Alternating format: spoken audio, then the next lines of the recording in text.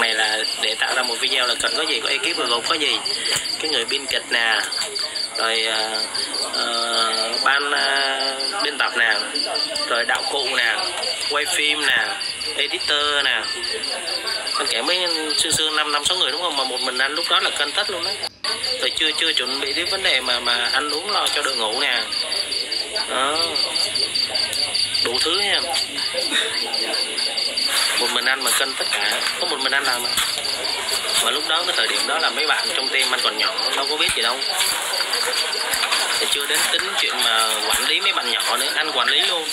Có gì là một anh anh cân tất. Cho, cho nên cái thời điểm đó là nói chung là anh bán sức khỏe rất là nhiều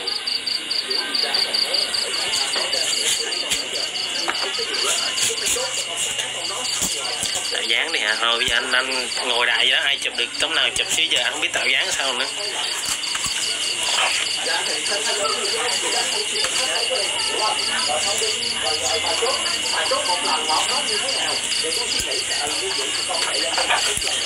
ở ngoài khúc số tập em thông cảm nha các bạn. Tại anh đang ở trong bón cà phê. Ở trong một cái đây, trong một cái lèo quê anh ở Long An, anh trả lời rồi mà. Quê anh ở Long An, nhưng mà hiện tại mấy anh à, đang hoạt động ở Cần Thơ. Muốn làm chung với team quá, muốn làm chung thì qua đây, vào công ty anh, nộp đơn xin việc cho một vị trí ekip.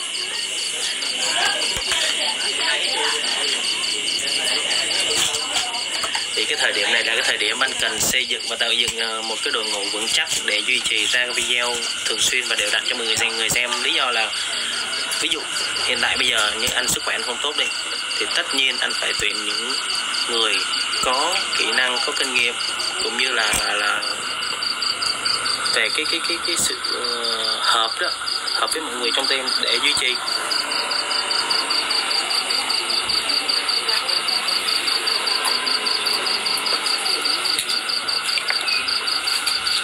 Vì có một số bạn thắc mắc tại sao anh tuyển vô công ty tuyển ekip thì đó anh trả lời cho mọi người nghe người nghe là vấn đề là lý do tại sao anh tuyển mọi người vô đấy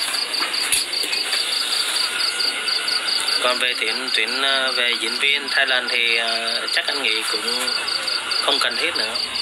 Tại vì hiện tại số lượng bây giờ là các bạn đủ để mà tương tác với nhau, cover cho nhau rồi. Thì mục đích cái công việc của mấy anh đây là hiện tại tạo ra cái môi trường cho các bạn có cái công ăn việc làm. Ổn định cái thứ nhất, cái thứ hai nữa là tạo ra những cái video mang tính giải trí cho mọi người xem, xả stress. Mà anh cũng để ý này có một số bạn xem video sao cứ suốt ngày ý kiến này ý kiến nọ mà trong khi đó mọi người suy nghĩ kỹ một chút xíu thôi. À, suy nghĩ thoáng một chút xíu thôi. Thì mọi người sẽ thấy là mục đích của mấy anh làm cũng chỉ là tạo ra cái nội dung để mang tính giải trí cho mọi người thôi. Còn mọi người xem mà mọi người hay nói ra nó vào nó này nó nó tới nó lui nó cũng không có đáng đâu. Tại vì sao? Tại vì các bạn làm như vậy thì một số bạn bây giờ cũng lớn rồi mấy bạn trong tim anh á cũng lớn rồi thì họ cũng đọc được những comment tiêu cực như vậy họ rất là cảm thấy không thoải mái tinh thần. Thì cuối cùng sao? Thì cái chất lượng video mà mấy bạn khi tham gia mà để quay thì mấy bạn bị ngượng ngùng mấy bạn bị phản tác dụng đó không được tự nhiên nữa. Cho nên sẽ tạo ra những cái video nó nó nó, nó không được vui. Để thì thì lúc đó mọi người xem video sẽ như thế nào? Không được vui theo. Nó là như vậy. Cho nên mọi người khi mà mọi người xem video á mọi người cứ cảm thấy vui là được rồi mình cũng đừng nên đặt nặng vấn đề quá. Còn những chuyện khác thì thôi đời tư cá nhân của họ thì thôi kệ đi. Còn nếu mà mọi người cứ đặt nặng những vấn đề uh, chuyện nhỏ nhoi bé xé ra to một số vấn đề khác thì trước sau thì cũng sẽ tạo ra những cái tác dụng ngược. Rồi anh trả lời lại một lần nữa nha. Về vấn đề mà đặng có đi nghỉ vụ hay không ha thì anh sẽ cố gắng hết sức. Anh sẽ cố gắng, nhưng mà thì có khả năng cả khả năng của đặng ờ, đi nghĩa vụ thì chắc ít lắm anh chịu mọi người mà, cho nên anh phải tìm cách. Muốn người ta sẽ tìm cách, còn không muốn người ta sẽ tìm lý do. Đúng không? Mọi người comment ra đúng hay không? Còn một khi anh đã không muốn là anh sẽ tìm lý do để cho đặng đi. À, đúng.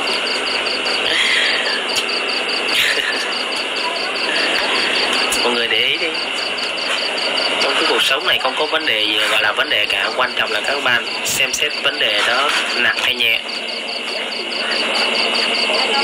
Bình tĩnh thì sẽ giải quyết được tất cả vấn đề.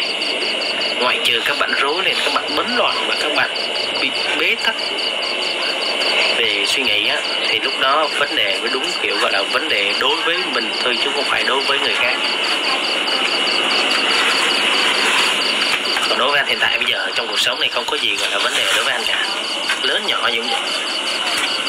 Đối với anh nó là bình thường. Cái chuyện gì nữa đâu mà anh chưa trải qua chưa chưa va va va chạm đâu mà anh suy nghĩ đôi khi anh ngồi lại anh, anh ngậm nghĩ anh suy tư anh nghĩ lại cuộc đời mình anh cảm thấy giống như là bao nhiêu cái biến cố bao nhiêu cái vấn đề trong xã hội để nó đã ập đến anh vậy. Từng trải rồi cho nên thấy nó bình thường lắm. Khi mình chưa trải thì nó là vấn đề lớn và mình bị rối nhưng mà khi đã trải qua rồi và thời gian trả lời rồi thì nó là vấn đề không gọi là vấn đề lớn nữa mà là một vấn đề rất là nhỏ.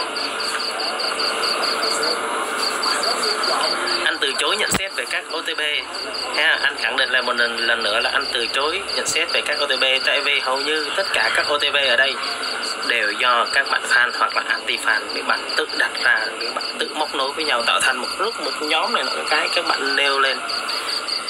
Mọi người nhìn vào đi mọi người sẽ thấy đúng không? Chứ anh đâu có bao giờ mà anh tạo ra cái OTP này OTP nọ. Mọi người không coi cái tiêu đề anh đặt đó hả? Cái tiêu đề anh đặt không phải là để anh ấy mà muốn nói rõ luôn đó là thử thách này thử thách nọ. Theo cặp đôi OTP cho các bạn fan đặt ra. Có đúng không? Ừ, mọi người để ý một chút xíu. Sao, sao mọi người cứ lúc nào cũng cho là anh Phú tạo OTP anh Phú tạo uh, bối cảnh anh Phú tạo cảnh nó cái.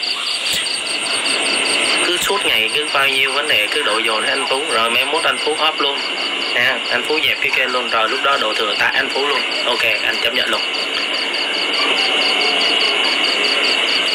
Ok chưa? Thì mọi người cứ đổ dồn đến anh là mấy mốt thôi, anh dừng. Anh chấp thay, anh xin. Thiệt, anh năn nỉ. Coi như là lỗi cho anh hết đi. Rồi bắt đầu mình dẹp kênh qua bên luôn lúc đó là không có bất kỳ một drama nào, không có bất kỳ một cái vấn đề gì nữa, và cũng chẳng có bất bất kỳ một vấn đề gì mà mà để mọi người phải bàn tán nữa. Lúc đó mới là cái thời điểm mà vấn đề của mọi người chứ không phải là của anh.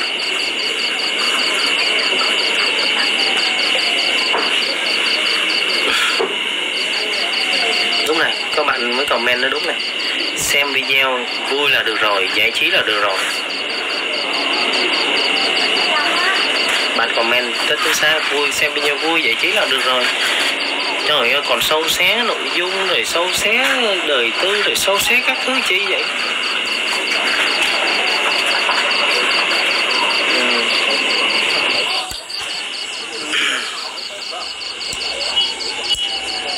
Cái thời gian vừa rồi lẽ ra là mấy anh sẽ ngừng sản xuất video một thời gian dài đó. Nhưng mà anh cũng tâm sự thực tình cho các bạn biết đó là các bạn trong team của anh ba phải á, biết là lẽ ra lẽ ra là không có anh mọi người sẽ không quay nhưng mà vẫn cố gắng vì sự yêu quý của các bạn fan dành cho team anh ba phải cho nên các bạn đã cố gắng cố gắng để mà đi quay tạo ra video mang tính giải trí cho mọi người đó. Chứ thực chứ thực chất ra là anh không muốn cho các bạn đi quay khi mà không có anh. người hiểu các bạn cũng như là người có thể dẫn dắt giám sát các bạn ở mọi khía cạnh mọi ờ, góc đó, là chỉ có thể mình anh thôi. Còn ngoài ra kể cả những người xin vào việc làm quản lý hoặc là làm uh, lãnh đạo leader cho đội ngũ này hầu như chẳng, chẳng ai am hiểu về đội ngũ này cả. Anh cũng không an tâm. Cho nên chẳng ai nhìn nhận được vấn đề đâu ngoại trừ anh. Cho nên khi mà anh không đi quay rồi anh cũng không mong muốn các bạn đi quay. Nhưng mà cái cái cái cái tình cảm mà các bạn trong team anh á, là 10 bạn này nè thì vẫn ngồi lại họp, trao đổi, nói chuyện với nhau là biết là sức khỏe anh phú không tốt, anh phú không đi quay được, nhưng mà mấy anh em mình hiện tại còn trẻ, còn khỏe, và vì yêu quý các bạn fan, và vì các bạn fan yêu quý. Và vì các bạn fan yêu quý thì mình bảo các bạn đi quay đó, chứ không là anh sẽ cho tạm ngưng hết chứ hầu như tụi anh cũng chẳng vì lợi ích gì cả. Đúng thì tụi anh tạo ra video các bạn cũng phải thông cảm các bạn cũng phải hiểu một điều. Đâu ai dựng dưng mà mà mà mà mà, mà bỏ công bỏ sức. Đúng không? Thì họ cũng sẽ đánh đổi thứ gì đó. Nhưng mà cái cái vấn đề mà để bỏ công sức ra để kiếm đồng tiền để cho bản thân cái đó là điều xứng đáng mà. Các bạn cũng làm cũng cày cuốc cũng lặn lội. Đúng không Rồi các bạn nói mục đích của các mấy bạn này à, của team anh ba phải là quay video để kiếm tiền, cái đó là luôn luôn đúng. Tại vì các bạn thử đi, các bạn tạo ra một video đi, như anh với lại các à, bạn trong team tạo ra một video đi. Phải nói là cực kỳ cực. Có một số bạn xin vô đi thử về cũng như để đi xem trải nghiệm đi quay xong một ngày về anh hỏi sao? Ngày hôm nay thấy trải nghiệm như thế nào? Thì các bạn trả lời đồng loạt một câu là thấy tụi, tụi anh quay clip rất là cực và thấy rất là thương lạnh lội mưa gió bão bùng dầm mưa dải nắng không ngại gian khổ. Các bạn thử trải nghiệm đi để các bạn sẽ thấy.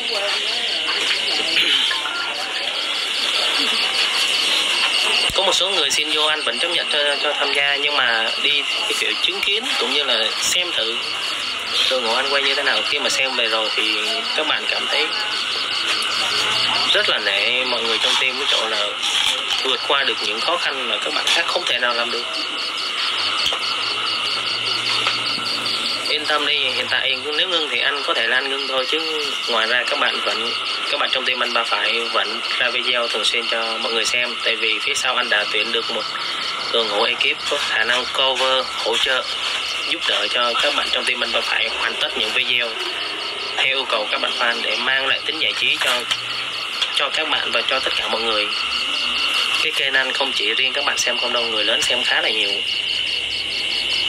Theo thống kê nha, theo thống kê cái lứa tuổi mà dưới 13 tuổi xem là chỉ có mười mười mấy phần trăm thôi 14 15 phần trăm thôi. Trên 13 ba ờ, cái này anh nhắc anh nhắc các tuổi này có ảnh hưởng như không ta? Giờ đánh sợ chịu à, trên trên cái độ tuổi mà anh vừa nói đấy à, cho đến một độ tuổi 18 á, là tới 26 phần trăm. Từ độ tuổi 18 đến độ tuổi 25 á, là chiếm tới 35 phần trăm. Có nghĩa, nghĩa là người lớn xem kênh của anh rất rất là nhiều. Cho nên khi mà các bạn vào xem á các bạn hạn chế comment tiêu cực nha tại vì người lớn sẽ đánh giá các bạn nữa đó có thể đôi đôi khi là anh chị người lớn các bạn xem cái những cái comment của các bạn, comment tiêu cực và thô tục gì đó sẽ bị đánh giá. Cho nên hạn chế. Kìa, có người đang đang comment anh 40 rồi nè. Dạ em cảm ơn anh. Cảm ơn anh đã xem video của tụi em. Đó mấy đứa thấy chưa? Có có rất là nhiều người kể cả người lớn cũng xem. Trong riêng gì mấy đứa cho nên khi mà mấy đứa xem video thì mấy đứa hãy cẩn thận về những cái comment của mình. Nó chẳng có có có, có làm ảnh hưởng gì người khác gì gì nhiều đâu nhưng mà cái vấn đề ở đây là gì? Là người ta sẽ nhìn vô mình và người ta đánh giá mình.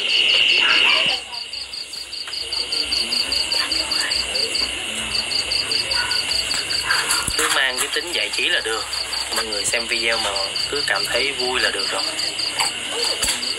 Mọi người suy nghĩ nhẹ một chút xíu đi, có đúng không? Đâu có việc gì đâu mà mọi người phải đặt nặng vấn đề này nó các thứ. Suy cho cùng. Suy cho cùng. Nè, khi mà mọi người xem video của anh, đó là một cái món ăn tinh thần mà đội ngũ anh ba phải dành cho mọi người đúng không chứ không phải chẳng phải cái cái cái cái cái, cái, cái độc hại hay là những cái gì mà mà mà mang đến cho mọi người cả. Mọi người xem thì sao? Có mất mát gì không? Anh ráng cố gắng tìm cái điểm mất mát của mọi người nhưng mà hiện tại là không có. Xem giải trí là chính đúng không? Video của tụi anh hầu như là đều có mang cái tính hài hước giải trí mà khi mà mọi người làm việc hoặc là đi học bị áp lực thì cái tính giải trí nó cực kỳ quan trọng. Tại vì sao? Giúp cho đầu óc của mình thoải mái hơn. Nó reset đầu óc của của mọi người nè.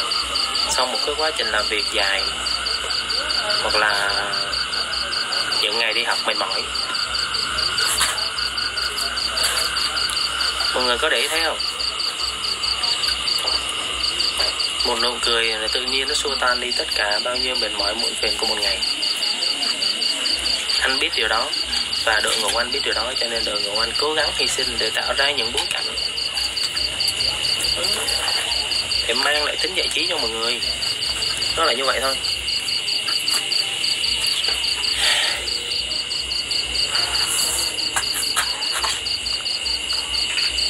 Còn những cái gì mà mà mà mang tính tiêu cực mang tính um, gọi là chống phá hoặc là những cái vấn đề là nhạy cảm thôi, cũng đừng để ý làm gì. Thực tế nó cũng không mang lại là gì lợi ích cho mọi người cả. Soi mối sâu xé ra, rồi cuối cùng thời gian cũng dần trôi qua, cũng chẳng có cái vấn đề gì mà đáng đáng phải nói.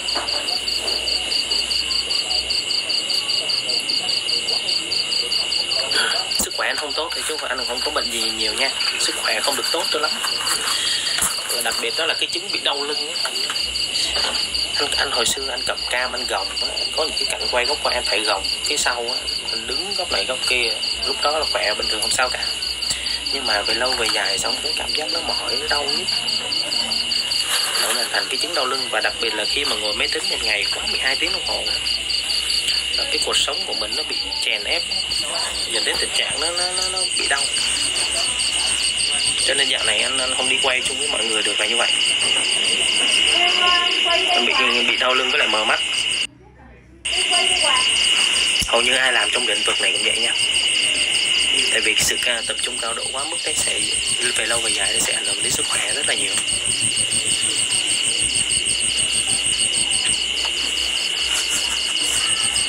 Đi khám rồi thì bác sĩ khuyên anh là thôi là bớt bớt làm lại đó. Bớt hoạt động lại đó, bớt ngồi máy lại, bớt làm lại, dưỡng sức đi. Nửa đời người rồi anh là anh năm nay 32 tuổi rồi. Anh tuổi thân. Không, anh không đi du lịch. Anh ở quán cà phê anh ở quán cà phê chiêu chiêu. Hôm nay là ngày cuối tuần mà. Xem video của tim cười nội thương luôn hả? Cười mà nội thương như hả? Cười giải trí thôi được rồi.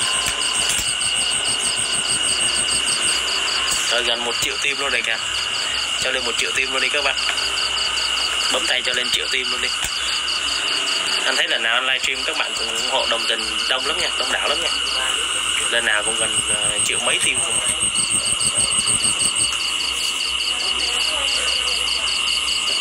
mẹ em xem video của anh khoái lắm. Rồi cho anh gửi lời cảm ơn mẹ nha. Hôm nay là ngày của các bà mẹ mà. Có bao nhiêu lời gửi lời cảm ơn hết trời ơi là trời dễ thương dễ sợ trời quá trời rồi đó mẹ khoái nhất anh. À, khoái nhất anh hả? Nói mẹ thông cảm đi mấy mốt anh phúc sẽ xuất hiện. Khi nào anh phúc khỏe đi anh phúc sẽ xuất hiện nha. Nhưng mà phía sau thì lúc nào cũng luôn có anh ờ, dõi theo tim và đội ngũ của anh hết cho nó chứ không phải là là anh bỏ mặt đâu. Chúc sếp mau khỏe. Ơi cảm ơn em thôi gọi anh phú rồi gọi sếp sếp gì? Có gì đâu sếp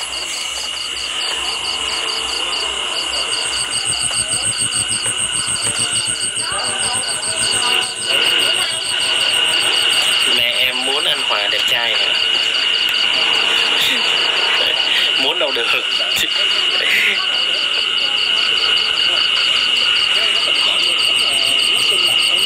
ừ, ok anh sẽ mau khỏe cố gắng khỏe sớm để còn cover hỗ trợ cho team đường ngủ nữa.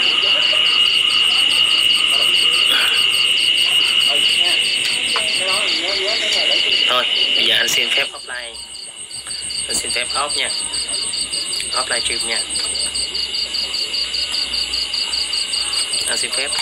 Vì nãy giờ anh live stream mục đích là, thứ nhất là tại vì mọi người hỏi anh sao bữa giờ không xuất hiện trên live stream thì anh cũng nói vấn đề đó. Thứ nhất, cái thứ hai nữa là nhân ngày 20 tháng 10 thì anh live stream gửi lời chúc sức khỏe, cũng như là gửi đến mọi người ngày 20 tháng 10 vui vẻ, gặp nhiều may mắn, gặt hái nhiều thành công. Rồi, cảm ơn mọi người rất là nhiều đã xem livestream của anh nãy giờ nha. Thì lâu lâu anh đã đang lên chia sẻ cái kinh nghiệm cuộc sống của anh cho mọi người. Miễn sao mọi người à, thấy hợp lý, thấy hữu ích thì mọi người ghi nhận và áp dụng còn nếu mà cảm thấy cái nào không đúng thì mình cứ bỏ qua. Nhưng mà anh khẳng định một điều, những cái gì anh chia sẻ đây là đều thật tâm, thật tình và luôn luôn đúng.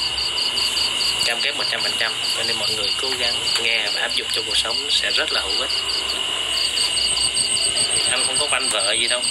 Anh chỉ lấy những cái kinh nghiệm trong cuộc sống anh chia sẻ lại thôi. Thôi, tạm biệt mọi người nha. Bye bye. Chúc mọi người có một buổi tối vui vẻ.